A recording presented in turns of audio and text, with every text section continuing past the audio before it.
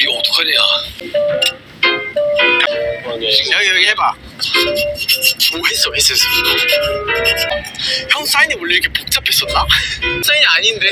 나 모르겠다 어, 너 죽었다 네, 많이 마셨어요. 빅히트 마셨어요. 빅히트 이거 어떡하냐 이거 어떡하냐 네. 좀 많이 먹어라 연준아 너 좀 많이 먹어야 될 것 같다 그- 무좀 무좀 형이, 형이, 아 연준이는 진짜 형 괜찮아요. 어너 안녕 아, 잠깐, 아, 좀 먹어 좀더 또 주시면 감사합니다.